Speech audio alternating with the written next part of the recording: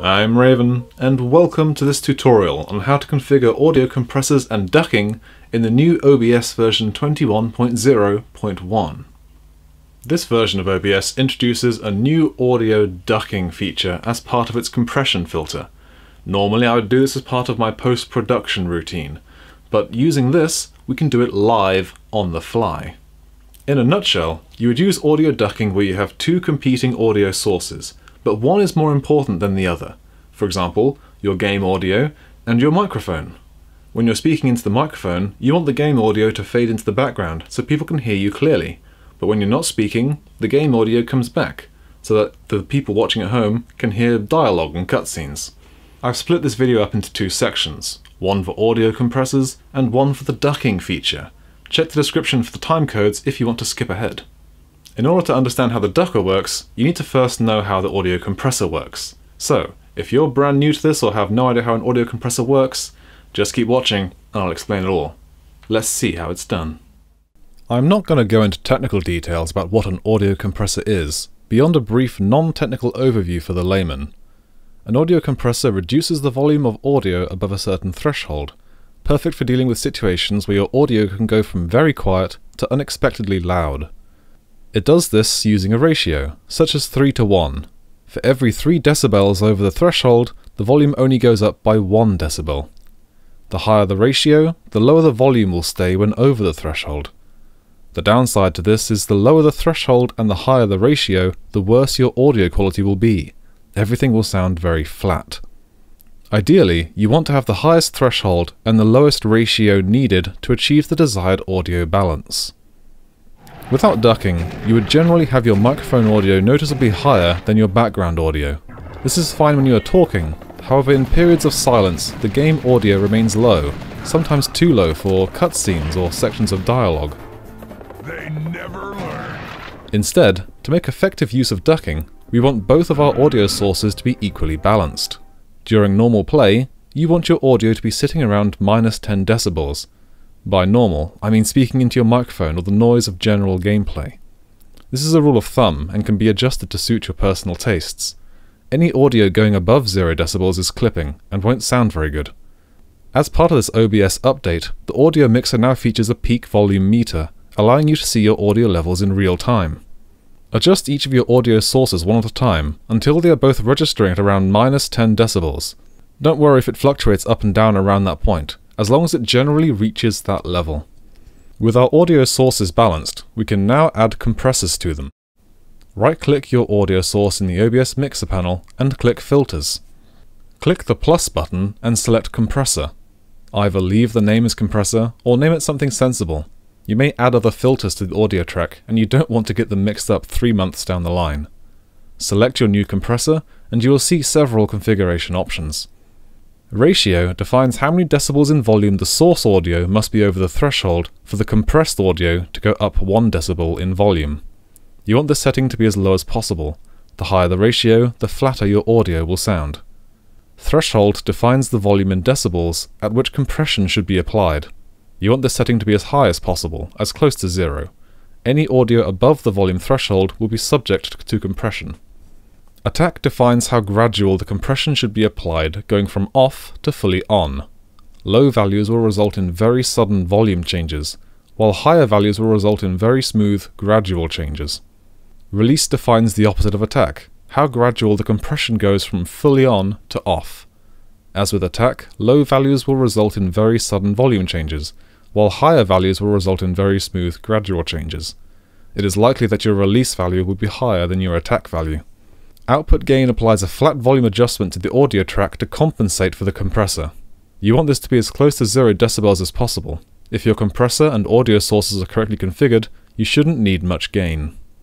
Sidechain slash ducking source defines another audio input which will activate the compressor. We'll look at this setting later on in the audio ducking section. With your compressor applied, it now needs to be configured. Our goal with the compressor is to prevent our audio source from clipping 0 decibels. You can tell when this happens by looking at the OBS mixer panel and watching the peak indicators. If they turn red, your audio is too loud. First, set the ratio to the lowest setting, and the threshold to its highest setting, 1 to 1 and 0 decibels respectively. This effectively disables the compressor, but gives us a clean starting point. Next, run some audio at a normal level. If you have balanced your audio source correctly, it should be sitting around minus 10 decibels. Now find a section of audio that causes the volume to go above minus 10 decibels, or even peak.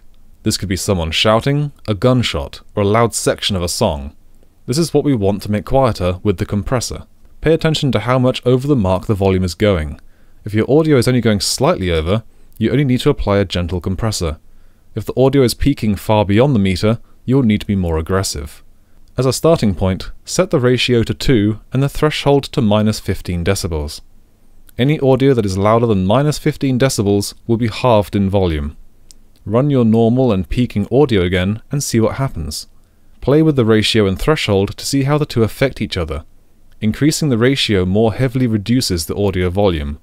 Lowering the threshold applies that reduction to more of the audio. The final step is to tweak your attack, release, and output gain. If, after compression, your audio at a normal level is too low, increase the output gain to compensate. Increase and decrease the attack and release values to smooth the changes in audio level. As an example, for a one microphone, one game setup, I use these two compressors. On the microphone, I have configured the compressor to heavily reduce the volume of any noise above that minus 10 decibels target. This allows my voice to generally be unaffected by the compression, while covering coughs, knocking the microphone, and shouting. Over on the game input, I have a much gentler compressor that begins to reduce the volume of the game before it reaches the minus 10 decibels mark. You will note that both my attack and release settings are very sharp. I don't want my audio to be compressed for any longer than is needed. If you find there are noticeable volume spikes in your compressed audio, I would work in increments of 25 milliseconds until it sounds right to you. Now that we understand how compressors work, we can look at the audio ducking feature of OBS.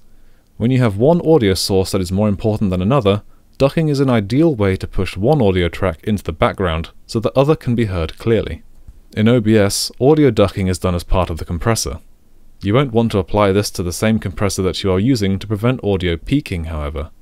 When you set a ducking source, the compressor only becomes active when the selected source is making noise. Here's how to set one up. In the OBS mixer panel, right-click the audio source that you want to duck, and click Filters. This should be the audio source that you want to reduce in volume, such as your game audio. Click the plus button and add a new compressor. I strongly advise naming this new compressor Ducker. Generally, you should keep this ducker at the bottom of your filter stack. An audio ducker is configured in the same way as a compressor. However, it requires a slightly different mindset.